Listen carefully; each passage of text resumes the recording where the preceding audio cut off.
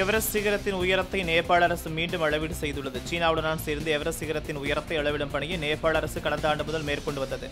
அதன் முடிவுகள் இன்று வெளியிடப்பட்டுள்ளன. அதன்படி சிகரத்தின் உயரம் எட்டாயிரத்தி எட்நூற்றி நாற்பத்தி எட்டு புள்ளி எட்டு ஆறு மீட்டர் என நேபாள நாட்டு வெளியுறவு அமைச்சகம் தெரிவித்துள்ளது.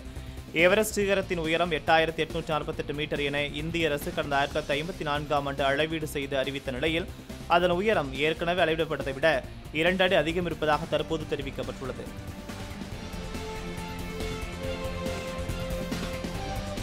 இந்தியாவில் ஜியோ ஃபைவ் ஜி சேவையானது அடுத்த ஆண்டு மத்தியில் பயன்பாட்டிற்கு வரும் என ரிலையன்ஸ் குழும தலைவர் முகேஷ் அம்பானி உறுதிப்படுத்தியுள்ளார். கடந்த ஜூலை மாதம் நடைபெற்ற ரிலையன்ஸ் இண்டஸ்ட்ரீஸ் லிமிட் நிறுவனத்தின் நாற்பத்தி மூன்றாவது வருடாந்திர பொதுக்குழு கூட்டத்தில் உலக தரம் வாய்ந்த ஃபைவ் ஜி சேவையை வழங்க ஜியோ தயாராக உள்ளது எனவும் அடுத்த ஆண்டு முதல் ஃபைவ் ஜி சேவை துவங்கும் என்றும் அறிவித்திருந்தார். ஃபைவ் ஜி அலைக்கற்றை கிடைத்தவுடன் பரிச்சார்ந்த அடிப்படையில் ஒரு சில நகரங்களில் ஃபைவ் ஜி சேவையானது முதலில் துவங்கப்படும் என்றும் பின்னர் அனைத்து நகரங்களுக்கும் விரிவுபடுத்தப்படும் எனவும் அறிவித்திருந்தார். இந்த நிலையில் இரண்டாயிரத்தி இருபத்தி ஓராம் ஆண்டின் இரண்டாம் பாதியில் ஜியோ ஃபைவ் ஜி சேவையானது பயன்பாட்டிற்கு வரவுள்ளதாக முகேஷ் அம்பானி உறுதிப்படுத்தியுள்ளார். எட்டு வழிச்சாலை திட்டத்தை அரசு மீண்டும் நிறைவேற்றினால் தமிழகம் மீண்டும் போராட்டக் களமாக மாறும் என அனைத்து விவசாய சங்க ஒருங்கிணைப்பு குழு தலைவர் பி ஆர் பாண்டியன் தெரிவித்துள்ளார்.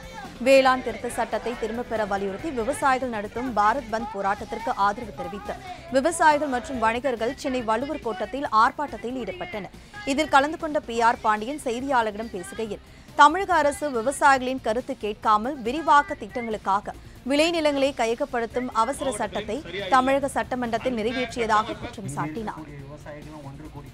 வருகிறேன். மோசடித்தனமாக எட்டு வழி சாலை திட்டத்தை தமிழக அரசு நிறைவேற்ற முயற்சிக்கிறது.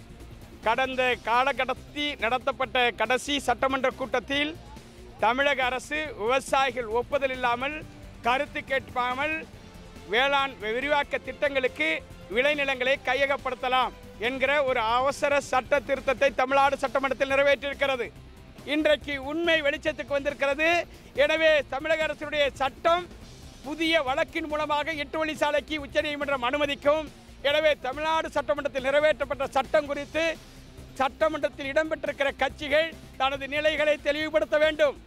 ஆளுநரை சந்தித்து நடிகரும் சமத்துவ மக்கள் கட்சி தலைவருமான சரத்குமாருக்கு கொரோனா தொற்று உறுதி செய்யப்பட்டுள்ளது. ஹைதராபாத் சென்றிருந்த சரத்குமாருக்கு கொரோனா பரிசோதனை மேற்கொள்ளப்பட்ட போது அவருக்கு வைரஸ் பாதிப்பு இருப்பது உறுதி செய்யப்பட்டது. அவரது மனைவி ராதிகா கூறியுள்ளார். இது தொடர்பாக தமது ட்விட்டர் பக்கத்தில் பதிவிட்டுள்ள ராதிகா தமது கணவர் சரத்குமாருக்கு நோய் அறிகுறிகள் எதுவும் இல்லை என்றும் மிக சிறப்பான மருத்துவரின் கண்காணிப்பில் அவருக்கு சிகிச்சை அளிக்கப்பட்டு வருவதாகவும் தெரிவித்துள்ளார்.